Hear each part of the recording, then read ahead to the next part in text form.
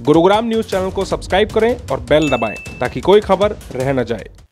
नमस्कार, आपका स्वागत है गुरुग्राम न्यूज़ में, जहाँ हम दिखाते हैं खबरें सिर्फ़ आपके शहर की। आपको याद होगा, आज से तकरीबन तीन साल पहले गुरुग्राम के एक निजी विद्यालय में एक सात साल के मासूम की बड़ी बेरहमी से हत्या कर दी गई।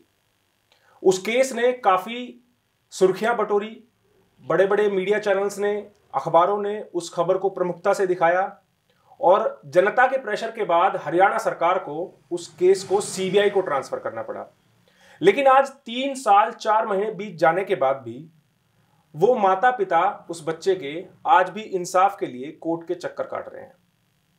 इस पूरे केस में अब क्या चल रहा है, वो सारी जानकारी हम आपको इस वीडियो में देंगे और बात करेंगे उस मासूम बच्चे जिसका काल्पनिक नाम दिया गया है प्रिंस।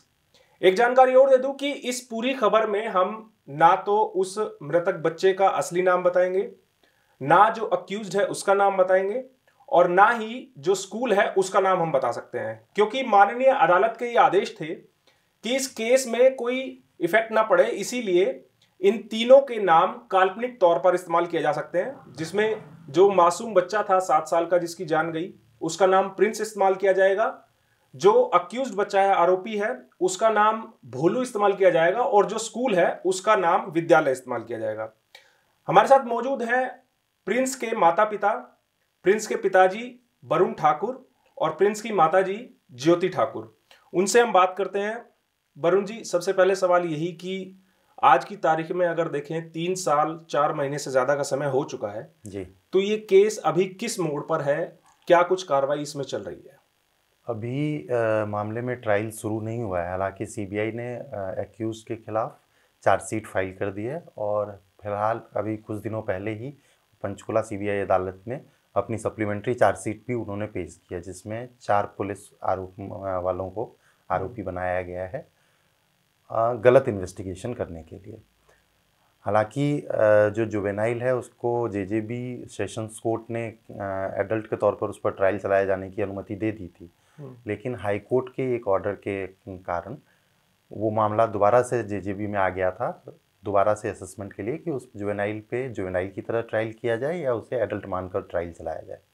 जिस मामले को हमने 2018 में माननीय सर्वोच्च अदालत के सामने चुनौती दी थी जो उन्होंने उस याचिका पे सुनवाई करने के लिए नोटिस इशू कर दिया था और कहा था कि जब तक इस मामले की सुनवाई हम नहीं कर लेते, हम किसी नतीजे पर नहीं पहुँच जाते तब तक इस मामले में आगे की कोई भी प्रक्रिया नहीं होगी। तो अभी अगर आम पब्लिक को समझना हो इस मामले को तो अभी जो केस है वो कौन से कोर्ट में चल रहा है? जुवेनाइल कोर्ट में, सीबीआई कोर्ट में, सुप्रीम कोर्ट में? अभी दो जगहों पे मुख्यतः ये चल रहा है। एक तो माननीय सर्वोच्च सुप्रीम कोर्ट में है जिन्हें ये डिसाइड करना है कि जुवेनाइल को जो हाई कोर्ट का ऑर्डर था कि दोबारा से असेसमेंट की जाए जुवेनाइल की उस पर कि वो ऑर्डर हाई कोर्ट का ठीक है या गलत है। तो जैसे ही उस पर फैसला आता है उसके अनुसार ही ट्रायल डिसाइड होगा कि उसकी ट्रायल सीबीआई पंचकुला में चलेगी पंचकुला अदालत में चलेगी या जेजेबी गुरुग्राम में चलेगी। तो मुख्यतः ये मामला सुप्रीम कोर्ट में है। और दूसरा पक्ष जो इसका है, जिसमें इस घटना से में और बाकी की चीज़ें जो थी जिस पर सी को चार्जशीट फ़ाइल करनी थी, वो सीबीआई कोर्ट में अभी पेंडिंग है, जो बेसिकली गवर्नमेंट ने आज तक उस पर सेंक्शनिंग नहीं दी है उन चारों आरोपियों, पुलिस अधिकारियों को के खिलाफ मुकदमा चलाने की, जिसकी वजह से वहाँ पे वो मामला अभी पेंडिंग है। 8 सितंबर 2017 को ये घटना हुई और घटना होने की सूचना जैसे ही आप लोगों को लगी आप अस्पताल में थे। मुझे अभी भी याद है कि जब आपसे हम इंटरव्यू कर रहे थे तो आपने पहला लफ्ज़ यही कहा था कि मुझे इस मामले में सीबीआई जाँच चाहिए। जी। आज तीन साल से ज़्यादा का समय हो गया। एक तो ये सवाल कि क्या आपको पुलिस पे भरोसा नहीं था? और शायद वो जो भरोसा नहीं था वो आपका लाजमी भी था वो शक करना वो बात सही भी निकली। जी। तो क्या आप लगता है कि सीबीआई के पास केस जाने के बाद भी इतना समय लग जाना अभी तो ट्रायल भी शुरू नहीं हुआ है? हालाँकि सीबीआई की जो इन्वेस्टिगेशन थी और सीबीआई ने जिस फुर्ती से इन्वेस्टिगेशन की जैसे आरोपी को निकाल के लाए वो तो इन्वेस्टिगेशन के, के तरीके से अगर देखें तो सीबीआई की इन्वेस्टिगेशन ठीक हुई। अगर वो केस पुलिस के पास होता तो शायद सही आरोपी भी नहीं पकड़ा जाता और जो वो गरीब कंडक्टर था उसे सज़ा हो जाती। तो इन्वेस्टिगेशन सीबीआई के पास जाने से एक तो ये ठीक हुआ लेकिन वहीं दूसरी तरफ़ ये मामला बहुत लंबा सीबीआई की तरफ़ से आया। हालाँकि जो आरोपी है मुख्य आरोपी जो विनाइल है हम्म। उसकी चार्जशीट तो उन्होंने बहुत जल्दी ही नब्बे दिन के अंदर फ़ाइल कर दी थी। हम्म, लेकिन सप्लीमेंट्री चार्जशीट आने में तकरीबन तीन साल का समय लगा है। हम्म, एक वहाँ डिले हुआ और दूसरा अपने यहाँ का जो जुडिशियल प्रोसेस है जो चार लेवल की जुडिशियल प्रोसेस है, उसमें ये मामला कई तरह के दाव पेचों में फंसा हुआ है, जिसकी वजह से आज तक इस पर ट्रायल नहीं शुरू हो पाया है। और ये थोड़ा सा निराशाजनक है हमारे लिए। हमें उम्मीद थी कि ये मामला जिस तरह का था और जिस तरह से सबका सहयोग था पब्लिक की मतलब डिमांड थी कि इसमें जस्टिस हो, जल्द से जल्द जस्टिस हो, वो कहीं ना कहीं अभी तक फ्रस्ट्रेटेड है मतलब फ्रस्ट्रेट हो रहा है। और हमें उम्मीद थी कि छः महीने के अंदर अंदर इसमें ट्रायल ख़त्म हो जाएगा। बट वो आज भी कोर्ट के कोर्ट मतलब कोर्ट कचहरियों के बीच में ही छोड़ रहा है। तो क्या अभी उम्मीद है कि इंसाफ हमें मिलेगा जल्दी? आज तक जो फैसले हमें इस केस में मिले हैं मतलब जिस तरह से सारी कार्रवाई चली है उम्मीद ज़रूर है कि जो फैसला आएगा वो न्याय संगत होगा जो मतलब होना चाहिए मतलब जस्टिस होगा इस मैटर में। हम्म। लेकिन दूसरी तरफ़ अगर समय को लेके कहें तो मन में बहुत सारी आशंकाएँ हैं कि पता नहीं कितने और दिनों तक हमें कोर्ट कचहरी के चक्कर लगाने पड़ेंगे न्याय के लिए। तो क्या आपको लगता है कि जो गुड़गांव पुलिस ने जल्दबाजी में कुछ जो जाँच थी उसको मैनिपुलेट किया जैसा सीबीआई ने जब उस बच्चे को गिरफ़्तार किया ग्यारहवीं क्लास के बच्चे को तो क्या आपको लगता है कि गुड़गांव पुलिस ने जो गलतियाँ की जो लापरवाहियाँ की जी। उसकी वजह से केस इतना लंबा जा रहा है? कि गुड़गांव पुलिस अगर उस समय में ढंग से इन्वेस्टिगेशन करती और ईमानदारी से अगर इन्वेस्टिगेशन करती तो शायद ये मामला सीबीआई को जाने की ज़रूरत भी नहीं पड़ती। जो उन्होंने तेज़ी तो दिखाई कि उसी दिन सेम डे केस को क्रैक करने का दावा किया सात दिन के अंदर चार्जशीट पेश करने का दावा किया लेकिन जो उन्होंने उसके पीछे तर्क दिए थे जो आरोपी को ने क्यों किया वो जो थ्योरी थी वो हमें कभी भी आज तक भी पुलिस की थ्योरी डाइजेस्ट नहीं हुई। और जब ये सप्लीमेंट्री चार्जशीट दाखिल हुई है तो उस चार्जशीट के बेसिस पे आज ये कहा जा सकता है कि जो भी इन्वेस्टिगेशन थी, वो आप उसको लापरवाही नहीं करेंगे भी नहीं कह सकते। वो लगता है, अब लग, ये लगता है कि जैसे वो एक पहले से प्रिपरेटेड पहले से स्क्रिप्टेड मतलब एक्शन था पुलिस का, और पुलिस सब कुछ पहले से तैयार करके बैठी हुई थी कि किस तरह हमें इस केस को क्लोज करना है, और जो लोग, लोगों में आक्रोश है उसको हमें कैसे तुरंत मतलब निपटा देना है। तो बेसिकली मुझे लगता है कि गुड़गांव पुलिस ज़रूर किसी न किसी इन्फ्लुएंस में थी किसी न किसी दबाव में थी और बहुत मतलब सुन मतलब सुनियोजित तरीके से जिसको बोल सकते हैं उन्होंने अपनी एक कहानी गढ़ी और उसको सामने पेश कर दिया था। तो हमारे साथ प्रिंस की माताजी भी हैं ज्योति। उनके दिल पर क्या बीतती होगी कि एक मासूम सा बच्चा जो उनके लिए कविताएँ लिखता था आपको याद दिला दूँ कि 2017 में जब ये घटना हुई थी तो हमने इस खबर को मैंने दूसरे चैनल के लिए कवर किया था। एक एक पहलू से हम इससे होकर गुजरे थे और बड़ा ही उस समय जो कविताएँ सामने आई थी प्रिंस की, बड़ी ही मार्मिक कविताएँ थी, दिल भर देने वाली थी। आज ज्योति जी हैं उनकी माता जी हमारे साथ। ज्योति जी, उम्मीद है कि बच्चे को इंसाफ मिल पाएगा। कैसे आप मतलब अभी तक उस लम्हे को सोचते हैं? हम तो उम्मीद से ही, हम तो आज भी उम्मीद से ही जी रहे हैं कि मेरे बच्चे के साथ जो हुआ है, शायद उसको इंसाफ मिले, तभी उसको शांति मिलेगा और इसी उम्मीद से हम अभी तक जी भी रहे हैं और लड़ भी रहे हैं कि शायद कहीं कहीं ना कहीं मेरा बच्चा गलत तो नहीं था और उसको इंसाफ मिल जाए। बच्चे की याद आती है बहुत।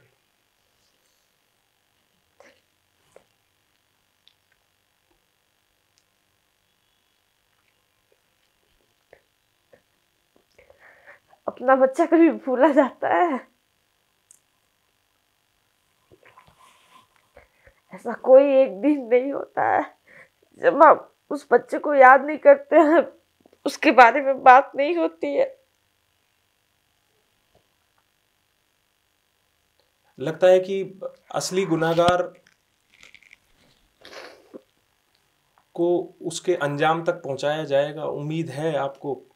इतना लंबा समय बीत गया।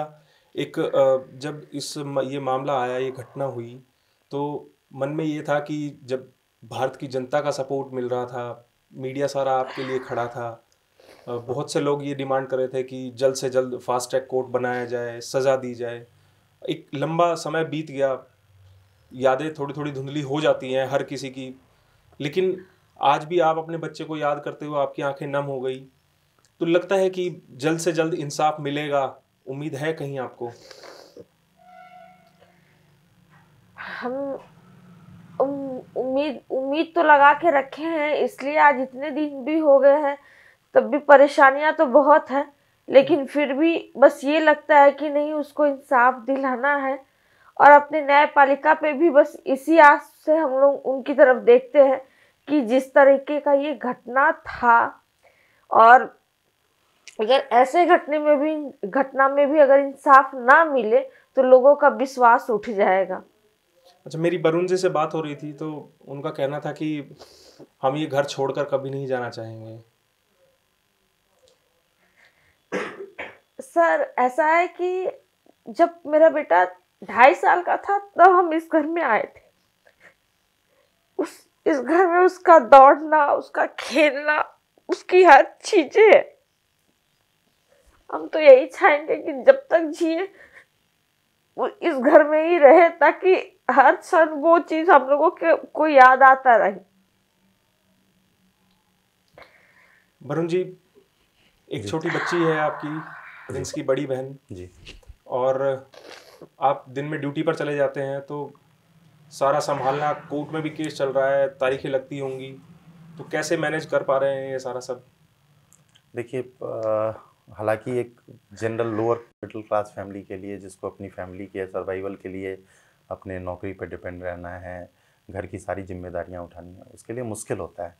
अगर मैं बताऊँ आपको तो मैं पिछले इन तीन सालों में कहीं भी नहीं गया हूँ मतलब किसी भी कोई पारिवारिक मतलब गैदरिंग है कहीं भी। क्योंकि इन तीन सालों में अगर मैं देखूँ तो मैं अक्सर हाँ कोर्ट कचहरियों के ही चक्कर लगाता रहा हूँ। मतलब हर महीने चार दिन, पाँच दिन का ऐसा भी समय था कि हर महीने चार दिन, पाँच दिन के लिए चंडीगढ़ जाना होता था चार, पाँच बार। तो बहुत मुश्किल है बट दूसरी तरफ़ ये है कि हम as a parent as a father जो एक अ, मेरा सात साल का बहुत निर्दोष इनोसेंट सा बच्चा था जिसको कि मतलब कल्पना नहीं की जा सकती कि उसने किस पेन मतलब को बियर किया क्या दर्द हुआ होगा उसको। तो उसको जस्टिस दिलाना भी मेरी अब एक ड्यूटी है समझिए। और अगर मैं इससे पीछे हट गया तो मैं कहीं ना कहीं अपने आप को भी माफ़ नहीं कर पाऊँगा कि एक फादर होने के बावजूद एक अ, जहाँ पे आप बोलिए सात साल के बच्चे की कोई समझ नहीं होती कोई गलती नहीं हो सकता कुछ नहीं हो सकता।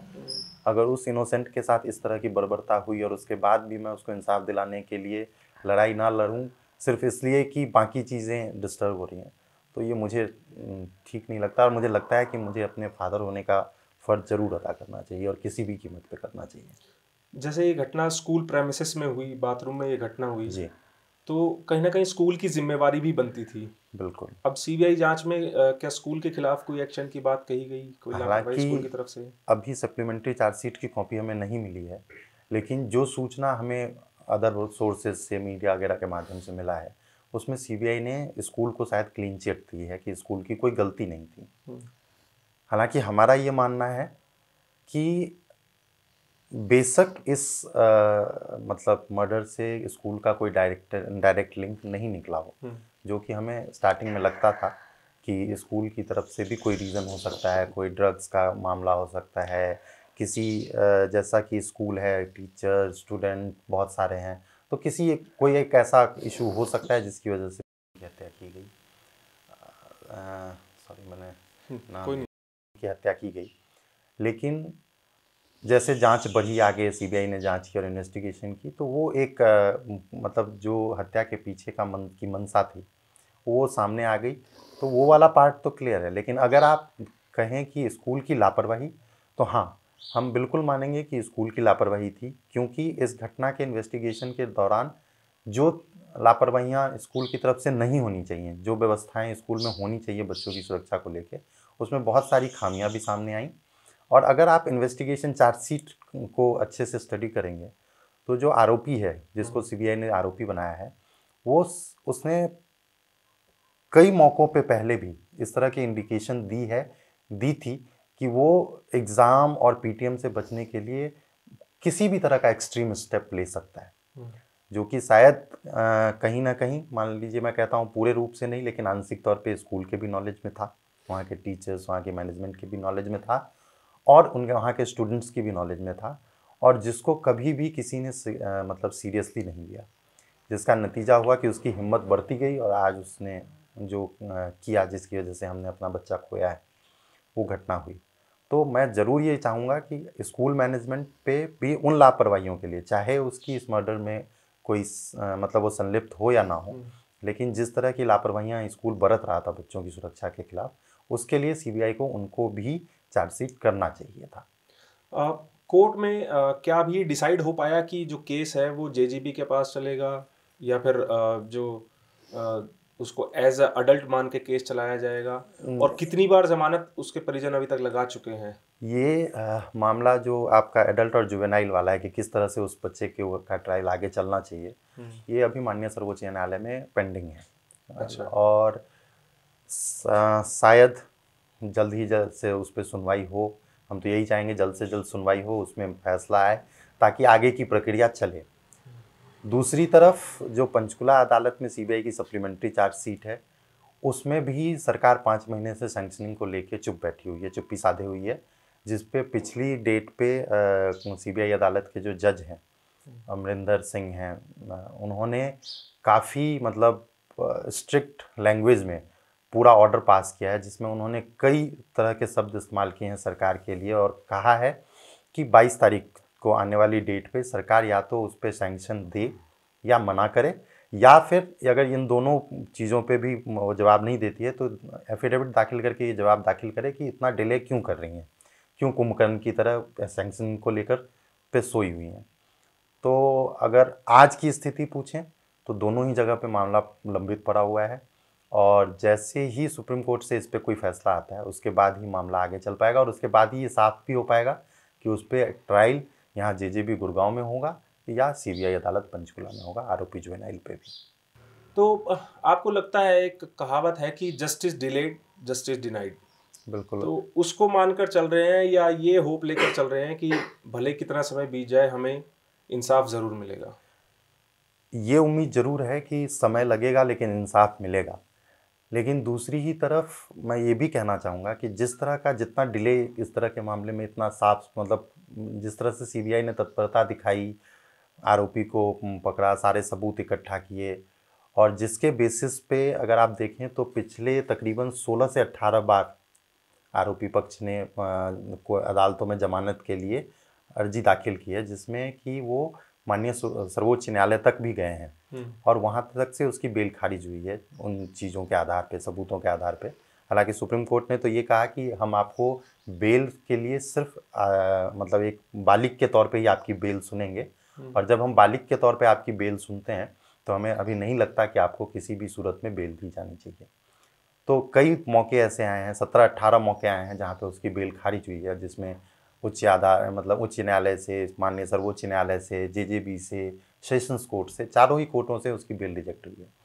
तो हमें उम्मीद तो ज़रूर है कि न्याय मिलेगा, लेकिन दूसरी तरफ़ मैं ये भी कहना चाहूँगा आपके माध्यम से कि जब कोई मामला किसी लोअर मिडिल क्लास या किसी गरीब आदमी तबके से जुड़ा होता है तो उसके लिए इतना लंबा संघर्ष कर पाना बहुत मुश्किल होता है। तो जहाँ तक जहाँ की हमारी न्यायालयों की ये सोच है कि किसी निर्दोष को सज़ा नहीं होनी चाहिए चाहे समय कितना भी लगे हम्म। मतलब फैसला ऐसा होना चाहिए मुकदमा ऐसे देखा जाना चाहिए कि कोई निर्दोष मतलब दोषी ना करार दिया जाए तो वो अपनी जगह ठीक है लेकिन दूसरी तरफ़ अदालत को विक्टिम फैमिली की साइड से भी को भी सामने रख के सोचना चाहिए कि उसके लिए ये इतना लंबा संघर्ष इतना लंबा संघर्ष कर पाना मुमकिन है या कहीं ना कहीं वो बीच रास्ते में मतलब टूट कर या अपने आप को मतलब फिर मतलब इस मुकदमे में, इस ट्रायल में, इस पूरे प्रोसीजर को फॉलो कर पाने के लिए सक्षम समझे या असक्षम हो जाए। तो ऐसे जुडिशियरी पर से धीरे धीरे लोगों का विश्वास उठता है। खास करके वो तबका जिसको पता है कि मैं इतना लंबा संघर्ष नहीं कर सकता। तो ऐसे मामलों में मैं यही चाहूँगा कि न्याय जल्दी हो। मतलब जल्द से जल्द न्याय मिले ताकि लोगों का विश्वास बना रहे कि आज भी हमारी अदालतों में न्याय समय से और समुचित तौर पे मतलब तो मिलता इस है। तीन साल चार महीने के लंबे अंतराल में कभी कोई प्रेशर आया? अपोजिट पार्टी की तरफ़ से कि नहीं हालाँकि हमारी पर कोई प्रेशर नहीं आया और इसका कोई लॉजिक भी नहीं बनता क्योंकि मामला हमारे बच्चे के साथ हुआ, हमें उसमें जस्टिस चाहिए था। हमने ये डिमांड किया कि जस्टिस मिलने के लिए हमें सीबीआई की इन्वेस्टिगेशन चाहिए। क्योंकि पुलिस की जो थ्योरी थी, जो पुलिस की इन्वेस्टिगेशन थी, उससे हम सेटिस्फाइड नहीं थे। हम क्या, अगर आप किसी भी आदमी को पूछे तो उस समय पर शायद वो सेटिस्फाइड नहीं था। तो इसलिए हमने सीबीआई इन्वेस्टिगेशन की मांग की थी। केस अब सीबीआई के पास है तो हमारी भी यही अपेक्षा थी। सीबीआई डिमांड के पीछे यही रीज़न था कि जो भी आरोपी होगा, चाहे वो सिस्टम में हो चाहे वो कितना भी पावरफुल हो, कैसा भी हो, उसको मतलब सज़ा मिलेगी, वो सामने आएगा। तो वो सामने आया है और केस सीबीआई के पास है, हमारे पास तो है नहीं कुछ अब इसमें। सीबीआई अपना काम कर रही है और अगर आज हम हैं या आज हम नहीं हैं तो भी मुकदमा चलेगा, जो आरोपी हैं उनको सज़ा मिलेगी। हालाँकि जो आपका सवाल था, उसका सीधा सीधा जवाब ये है कि हम पर आज तक कोई कभी कहीं से प्रेशर नहीं आया और शायद फ्यूचर में भी ऐसा कुछ नहीं है। भारत की जनता की बहुत सी संवेदनाएँ रही हैं प्रिंस के प्रति भी आप लोगों के प्रति भी। तो अंत में क्या कुछ कहना चाहेंगे आप? मैं बस आपको एक लाइन में ये कहना चाहूँगा ये जवाब दूँगा इस बात का कि अगर मतलब जिस तरह की घटना थी हिंदुस्तान का हर आदमी जिसे इस घटना की पता के बारे में पता चला आप लोगों के माध्यम से उसने इसको अपने बच्चे से कनेक्ट करके देखा। क्योंकि आज मतलब हिंदुस्तान के किसी कोने में किसी भी तबके में कोई ऐसी फैमिली नहीं होगी जिसका बच्चा स्कूल नहीं जाता होगा। और जो इस अ, सोच के साथ बच्चे को स्कूल भेजता नहीं भेजता होगा कि मेरा बच्चा अगले सात घंटे आठ घंटे जो स्कूल में बिताएगा वो सुरक्षित है और सुरक्षित हमें वापस मिलेगा। तो कहीं ना कहीं हर लोगों के मन में एक डर जैसा माहौल बन गया। वो विश्वास जो था लोगों के मन में वो टूटा। तो हर प्रिंस की जैसी उम्र थी जिस तरह का मासूमियत थी बच्चे की छोटे बच्चे से जिस तरह का लोगों का लगाव होता है तो सब कहीं ना कहीं मतलब उस दर्द को महसूस कर रहे थे और सबने बहुत योगदान दिया। अगर मैं उस समय को याद करूँ तो मुझे लगता है कि लोग अपने अपने काम मतलब सब कुछ छोड़कर मेरे घर के पास होते थे स्कूल पे पुलिस ने इतना मतलब गंभीर रूप से लाठी चार्ज किया भीड़ को दर, मतलब इधर उधर करने के लिए लेकिन फिर भी लोग वहाँ से हटने को तैयार नहीं थे। मतलब सबको ये था कि कैसे इस तरह की कोई घटना स्कूल में हो सकती है। तो जो आम आदमी का मतलब सहयोग था, आम आदमी का गुस्सा था, उसके बाद जो मीडिया का सहयोग था, जिस तरह से हर न्यूज़ चैनल ने मतलब इस घटना को, लोगों के सेंटिमेंट्स को समझा और जिस तरह से इसको चलाया मतलब प्रमुखता से चलाया, जितनी इम्पोर्टेंस इसको दी तो वो कहीं ना कहीं मुझे लगता है वो सहयोग ही था कि माननीय सर्वोच्च न्यायालय अपने आप ही इस मामले की कॉग्निजेंस लेने के लिए तीन दिन बाद तैयार थी। जब हम अदालत पहुँचे थे तो इस तरह का न्यूज़ आ रहा था कि शायद सर्वोच्च न्यायालय खुद भी इस मामले पे कॉग्निजेंस ले सकती है। तो कहीं ना कहीं इसमें अगर रोल देखें तो भारत की जनता का, जिनकी संवेदनाएँ थी हमारे साथ, और मीडिया का, इन दोनों का बहुत प्रमुख योगदान रहा है। और मैं इसके लिए आप लोगों का बहुत आभारी हूँ कि आप लोगों की वजह से ही आज शायद प्रिंस को न्याय मिलने की उम्मीद है। बेशक डिले हो रहा है लेकिन उम्मीद आज भी ज़िंदा है। तो मैं सबका मतलब तहे दिल से धन्यवाद करना चाहूँगा आप लोगों का। ज्योति जी आप कुछ कहना चाहेंगे? मैं तो यही कहना चाहूँगी कि मेरा बेटा बहुत छोटा था उसकी कोई गलती नहीं थी। उतना छोटा बच्चा हर घर में है हर माता पिता के पास है। तो सरकार सरकार सरकार बोलिए मतलब अदालत बोलिए, जो भी है, उनसे यही बोलेंगे कि इस पे जल्दी से जल्दी सुनवाई करे, उसको न्याय दिलाए और मतलब हर माता पिता को एक सिक्योर मतलब सिक्योर करे कि हाँ अगर मेरा बच्चा स्कूल जा रहा है तो वो लौट के आएगा। ऐसा नहीं है कि वो लौट के ही ना है तो थोड़ा तो विश्वास दिला, दिलाना पड़ेगा और इसके लिए सर मतलब अदालत को थोड़ी का मतलब थोड़ा कड़ाई से इस पे निर्णय लेना चाहिए। आप लोगों को बहुत बहुत धन्यवाद। तो ये हमारे देश का दुर्भाग्य भी कहिए और न्याय प्रणाली भी कहिए, लोकतंत्र भी कहिए कि इस देश में जो इंसाफ है वो भले ही कितनी देरी हो जाए उसको मिलने में, लेकिन लोगों का विश्वास फिर भी है कि अदालतों पर कि उनको न्याय ज़रूर मिलेगा। और इसी आस में आज प्रिंस के माता पिता इंतज़ार में हैं, उसी आस में है कि उनके सात साल के मासूम को, जिसका कोई दोष नहीं था, स्कूल गया था रोज़ाना की तरह, लेकिन वो फिर कभी लौट कर नहीं आया। तो इसी इंसा, इसी इंतज़ार में प्रिंस के माता पिता हैं कि जल्द से जल्द उनको इंसाफ मिलेगा। हालाँकि तीन साल, चार महीने बीत जाने के बाद भी अभी तक कोर्ट में ट्रायल शुरू नहीं हुआ है। और हम भी ये उम्मीद करते हैं, जिस प्रमुखता से हम लोगों ने ये खबर उस समय उठाई थी, लोगों के सेंटिमेंट्स जुड़े थे इस पूरी घटना से तो उम्मीद हम भी यही लगा रहे हैं कि इस मामले में भी जल्द से जल्द जो कोर्ट है वो इंसाफ करेगा और पीड़ित परिवार को न्याय देगा। इस खबर के बारे में आप लोग अपनी राय कमेंट करके हमें ज़रूर बताइएगा। साथ ही साथ आप इस वीडियो को शेयर ज़्यादा से ज़्यादा कीजिएगा, ताकि ज़्यादा से ज़्यादा लोगों के पास सही जानकारी सही समय पर पहुँच पाए। नमस्कार।